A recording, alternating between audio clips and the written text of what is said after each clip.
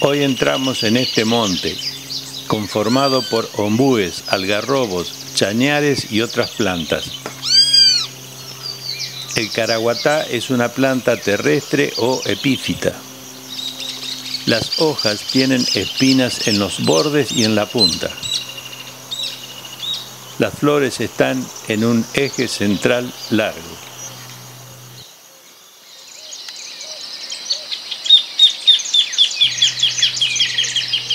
El patito coludo, llamado también buche de pavo, es una liana de flores grandes, tubulares. El cedrón del monte es un arbusto de flores blancas, perfumadas.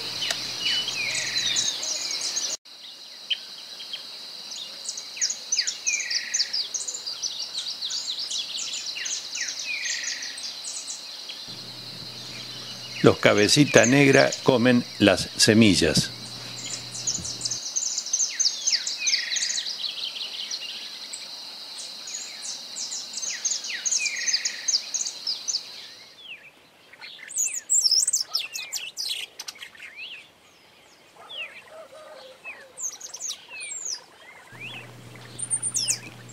En otro sector había quebrachos blancos, árbol de hasta 20 metros de alto.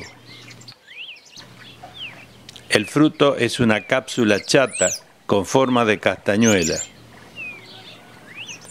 Las semillas son achatadas, rodeadas de una membrana delgada.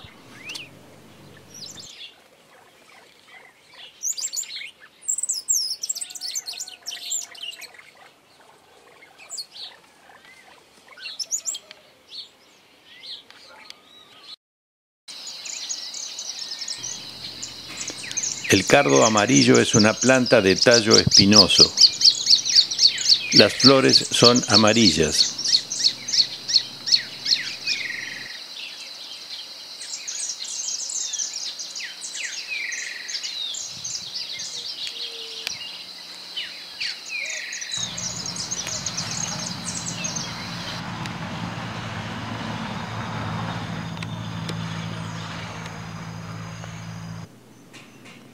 Muy linda sombra daban los grandes ombúes.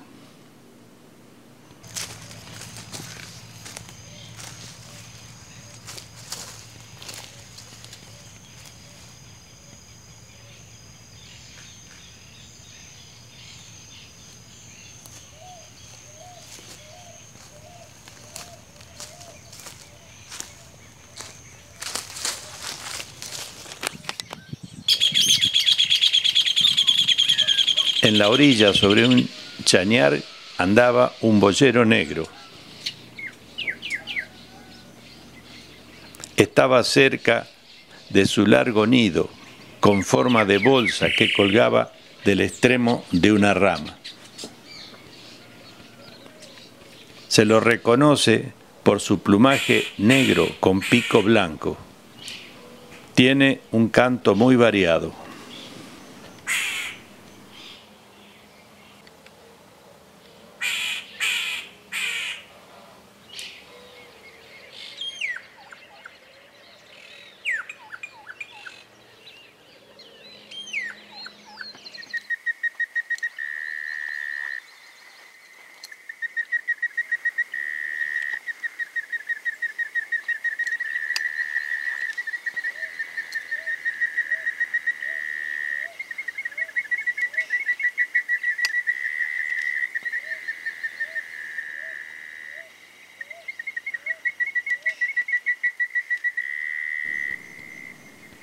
En un charco de agua llama la atención una voz nítida con diferentes tonos, hasta que descubrimos que era del sapito panza colorada.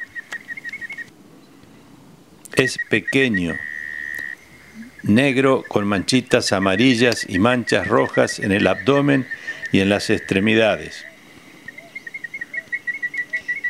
Camina fuera del agua entre los pastos.